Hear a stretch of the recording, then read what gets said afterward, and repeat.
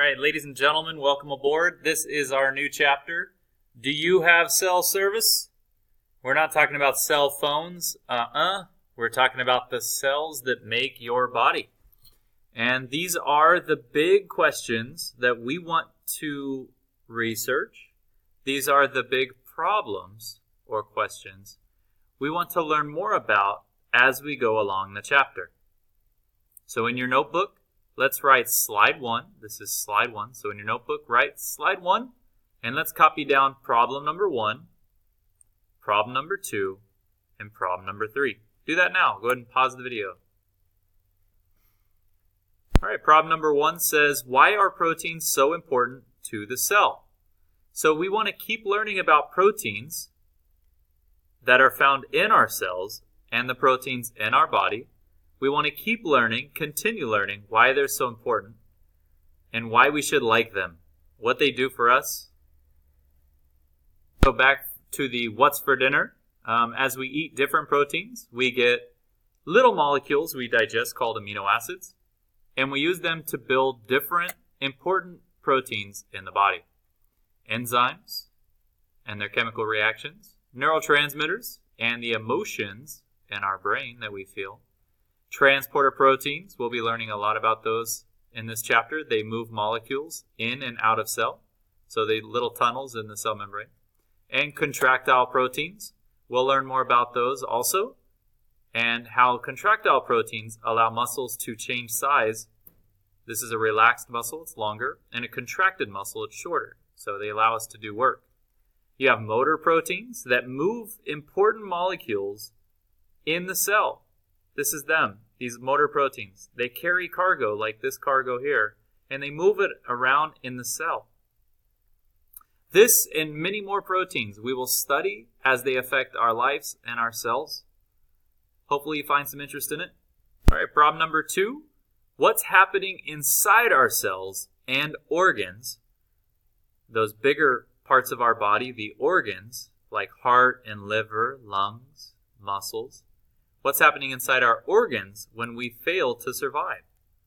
So, cells make up the organs, and what's going wrong when we have a problem, when we're unhealthy. We'll learn about our health and our cells and survival.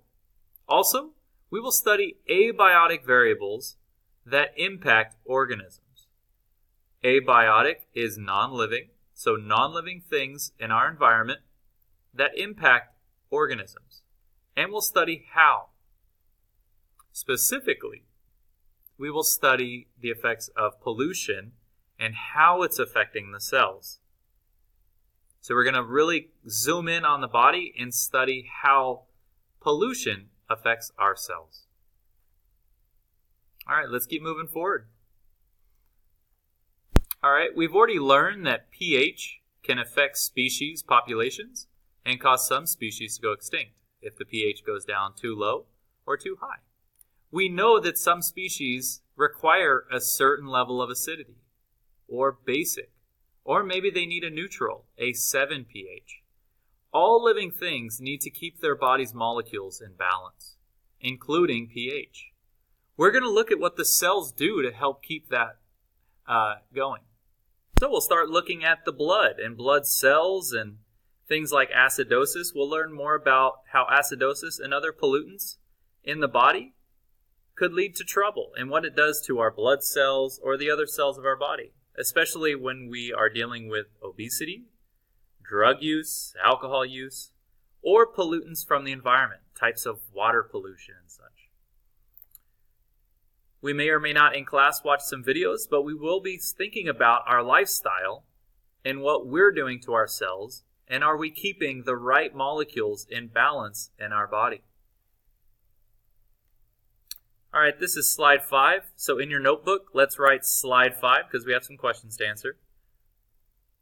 So slide five, let's put it in presentation mode. All right. In slide five, you want to answer this question. It says, what body cell is this? So this is a body cell. This is a body cell. What body cell do you think it could be? It looks so strange, doesn't it? And you have trillions of these in your body. Or at least billions, anyways. Trillions may be a little too high, definitely billions, but you have many of them. What kind of body cell do you think it is? Just take a guess. We'll talk about it in class later and see what you think. Now, this cell, this mystery cell, is stained with pigments. It's been colored. This is not its natural color. It's been colored for a reason. Scientists do it all the time. They use things that glow, like this this pigment here. So they use chemicals, pigments, like in this bottle, that glow to make the cell glow in certain areas. It says, look at the unstained cell. This is an unstained cheek cell, I believe. So this is what cells normally look like if we looked at them in a microscope. Why do you think scientists, like this scientist here, and they're using special technology to stain and dye and color the cells using new technological equipment in the lab, why do you think they do it? Go ahead and write an answer. Why do you think scientists color cells this way? So this again is slide 5, answer question 1 and question 3 here. As we do this chapter, we'll be using microscopes in our class for the very first time, and we're going to study cells. And we're going to study cells with a purpose. Our goals for studying cells is not just doing it because it's fun. We want to learn skills like how to do a microscope slide or practice it. Basic science skills. But we also want to study water pollution.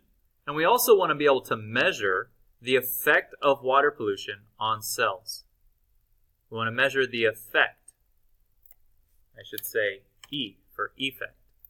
Measure the effect of water pollution on cells. We're actually going to do this as a lab. Hope you're looking forward to it. So we're getting environmental again. Water pollution this time, not climate change. All right, let's keep moving.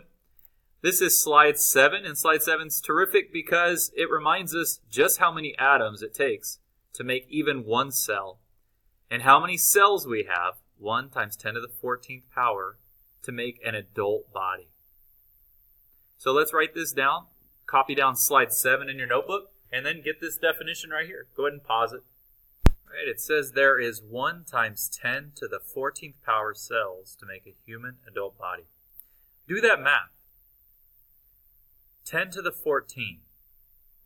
This is called scientific notation, and what that means is take the number 10 and add 14 zeros to it. If you add 14 zeros to it, you end up with a pretty big number. This number, which is actually pretty darn big.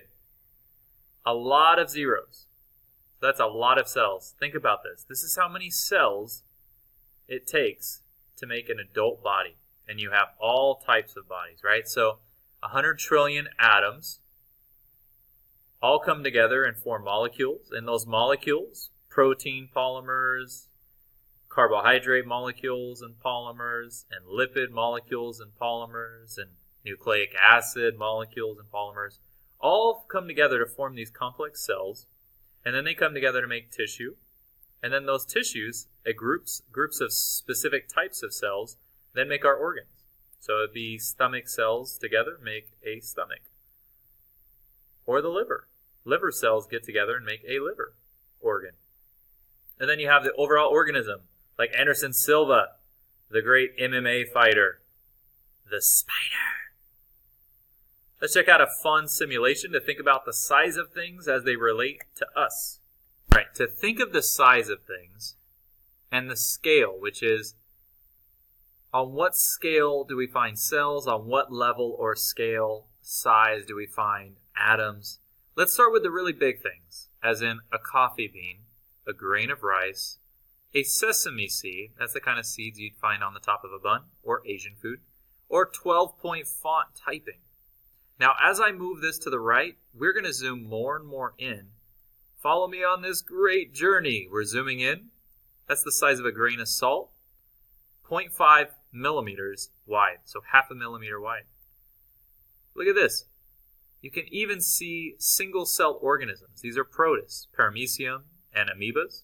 Amoebas, some amoebas, cause stomach sickness, stomach flu, diarrhea, yikes. If we zoom out, see if you can see the paramecium. This paramecium species, that is 500 micrometers wide, See if you can see it if I zoom all the way back. See if you can still see it as I go all the way to the back. You can see it, right? Amoeba's single-celled organism. So some cells are big, some cells are small. You can actually see the amoeba here from vision, just from your regular eye, right? No magnification. I don't know if that's true or not. At least in the simulation here it is. All right, we're seeing a human egg, sperm, photoreceptors. Those are these are the cells of the eye, skin cells. Look at that. Red blood cells are very small.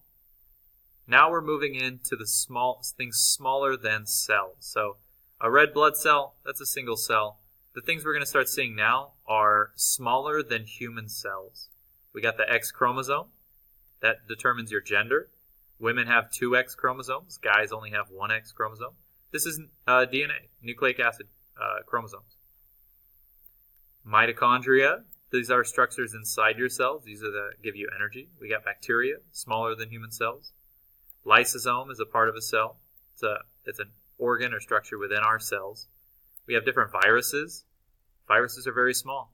You can see viruses are much smaller than a bacteria. Keep going in. Oh my God, will it ever end? Ribosomes are inside our cells. They're a part, they're a type of protein in our cells. tRNA, oh, that's a nucleic acid that's found within our cells.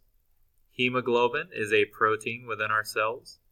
Antibodies here, I think proteins. Protein polymers, probably.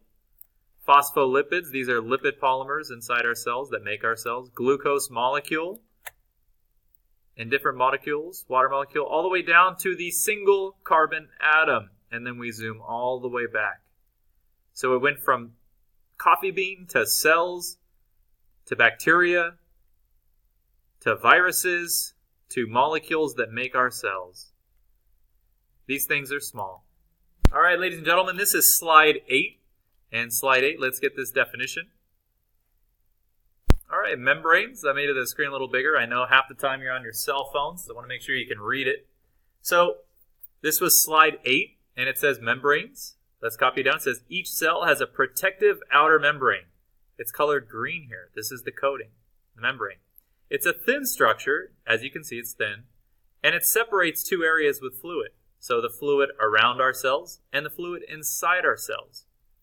And this green coating or at least in this model it's green, is made up of lipid fat polymers.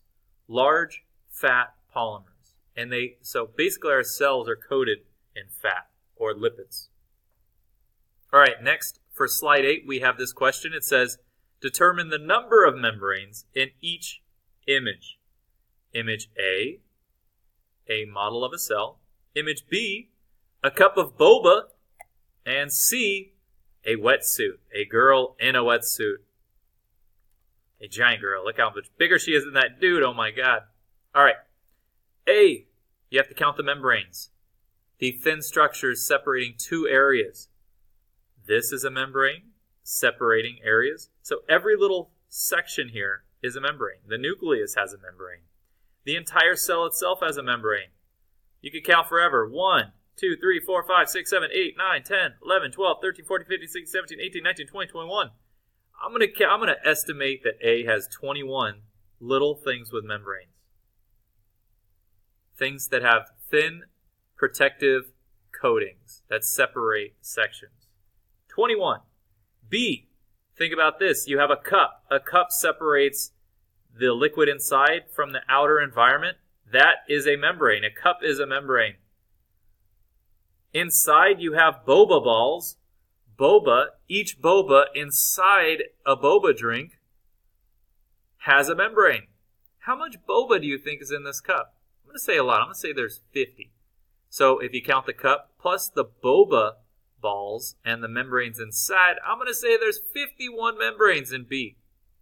And then C, this is a crazy one. You have a wetsuit. A wetsuit is a thin membrane that protects the cells of the body from the outside ocean. So the wetsuit is a membrane, plus think of all the membranes of every cell that makes this person. I would put trillions of membranes for person number C.